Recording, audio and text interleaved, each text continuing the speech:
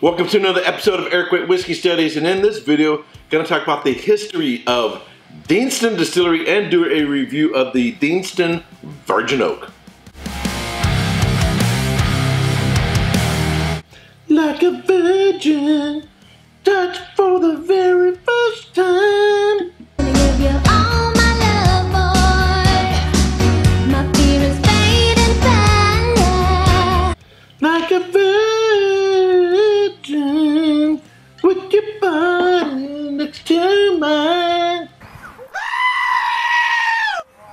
Sorry, sorry, I apologize.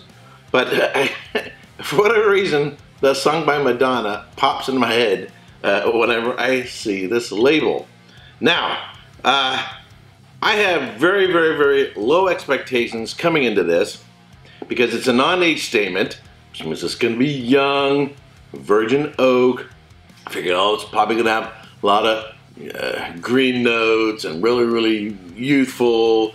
And the price, wait till you see the price. When I saw the, the price on this, that even sets the bar lower. Not expecting a whole lot from this whiskey. But before we get into this, let me tell you about the history of Deanston Distillery. Deanston Distillery, a former cotton mill, is located on the banks of the River Teith, eight miles from the historic town of Stirling, at the gateway to the dramatic Loch Lomond and Trossachs National Park. In 1785, Deanston Mill was established on the River Teith. In 1964, Brodie Hepburn bought and converted the former cotton mill, creating Deanston Distillery Company Limited, a subsidiary of James Finlay Company Limited. Hepburn also ran Tullibardine Distillery. Production started at Deanston Distillery on October 1966. In 1971, the distillery's first single malt was released under the name Old Bannockburn.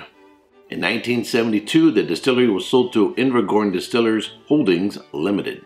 In 1974, the first single malt bearing the name Deanston was released.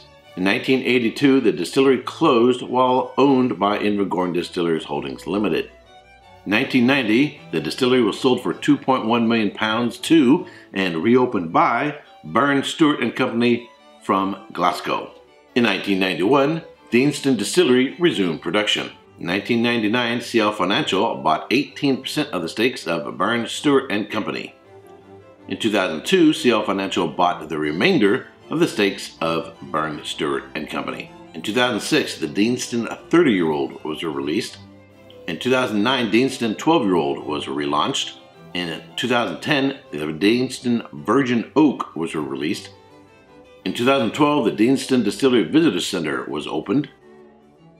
In 2013, Burns Stewart Company is acquired by South African Distell for 160 million pounds. In 2015, the Deanston 18-year-old was released. In 2016, the Deanston Organic was re-released. In 2017, the Deanston 40-year-old and Vintage 2008 were released. In 2018, the Deanston 10-year-old Bordeaux finish was released for duty-free. In 2019, the Deanston 1997 Palo Cortado finish and the 2006 Cream Sherry finish and the 2012 Beer Cask finish were released. The Deanston Virgin Oak Single Malt Scotch Whiskey. It has no age statement. It was aged in ex-bourbon and Virgin Oak cask. It is non-chill filtered, has natural color, spotted at 46.3% alcohol by volume, and sells for about $39 on average. Alrighty, so look at the color on this. It's non-chill filtered, no added color. It's got plenty of color to it, so that's all from the oak. So even if it is youthful, it's got some good extraction from the oak to get this kind of color. On the nose, if you're smelling blind, the first thing that pops in your head is, oh, this smells like a bourbon. It smells like a bourbon. It is very cask forward in its character.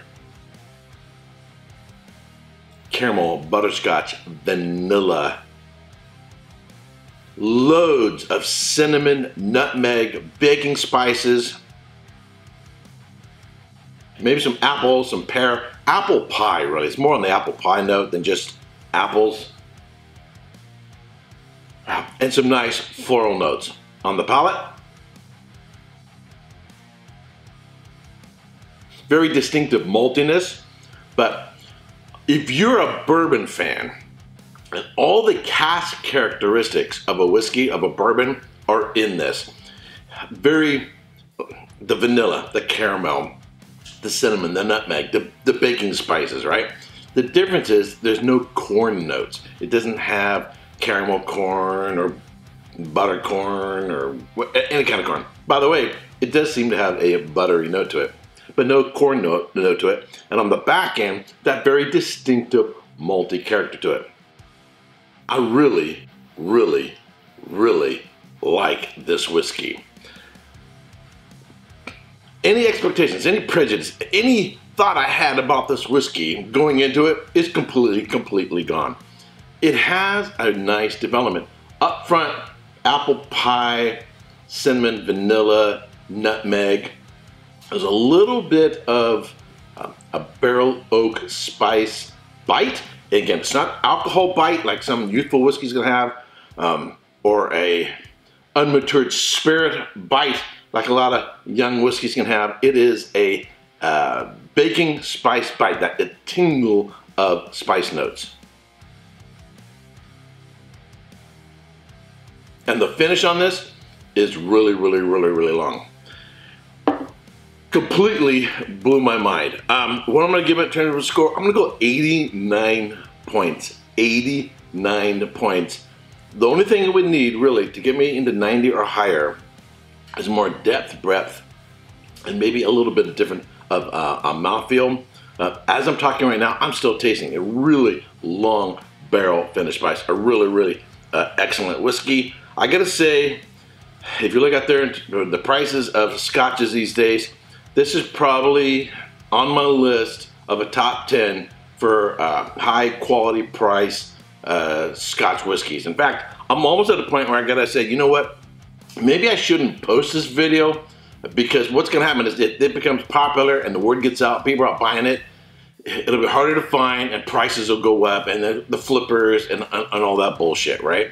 This is an absolutely killer whiskey. If you see it, if you like a bourbon cask whiskey, if you like the characteristics of a bourbon and you're looking for high quality scotch, that's not gonna break the bank. I mean, it's gonna be under 50 bucks. Uh, this is an absolute uh, must buy. Absolutely killer whiskey. All right, uh, if you like watching my videos but you've not yet subscribed, please ring the bell and subscribe. And until next time, cheers. Hey, don't forget to subscribe and check out these other whiskey videos.